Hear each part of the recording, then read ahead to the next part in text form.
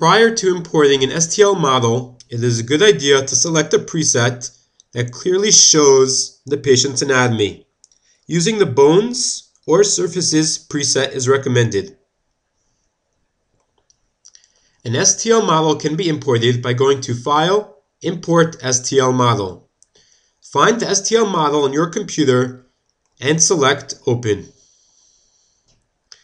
Similar to the previous version of Blue Sky Plan, the points functionality can be used to align the STL model.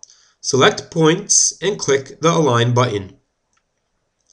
The software opens the CT scan of the patient's anatomy as well as the imported STL model. Normal mouse functionality can be used to rotate and zoom in and zoom out. Pressing the Shift key turns on the placing points functionality and allows us to start placing points. Five points should be placed distributed throughout the models in locations that are easily identifiable in both models. When rotating or zooming, the Shift button should be released to allow the normal mouse functionality to be used.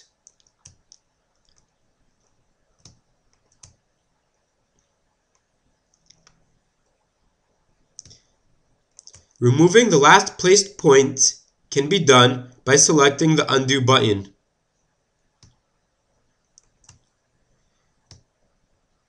Removing all placed points in a particular view can be done by pressing the red X.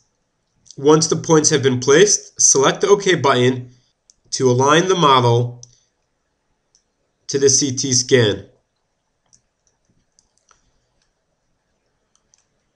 The model can be hidden or viewed by pressing or unpressing the visible checkbox as well as the model outline by pressing or unpressing the model outline checkbox.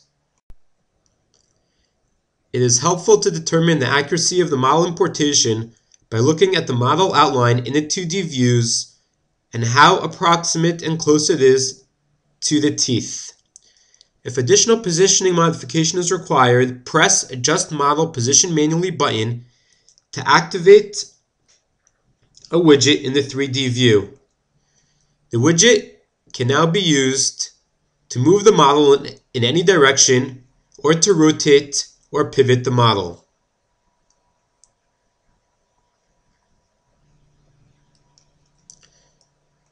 Once the model has been aligned to the desired location, Press again Adjust Model Position manually to hide the widget.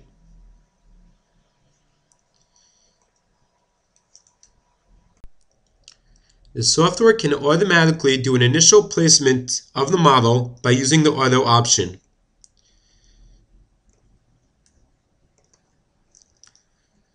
Select the draw type, select Auto, and press the Align button. If additional placement modification is necessary, the points option or the adjust model position manually option can be used as previously demonstrated. If an STL model is exported from the software, modified, and then re-imported, the direct option can be used to position the modified STL model correctly in the CT scan. If a second STL model is being imported based on the positioning of the original STL model,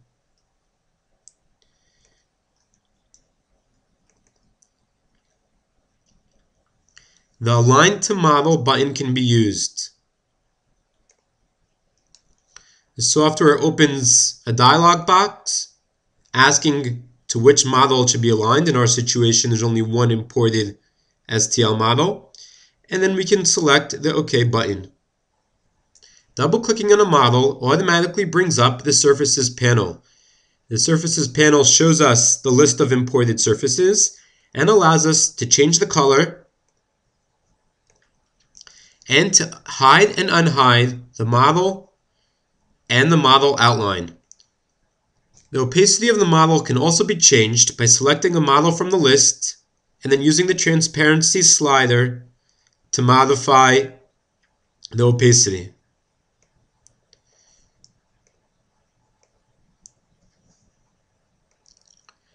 A model can be removed and deleted by pressing the red X next to the model.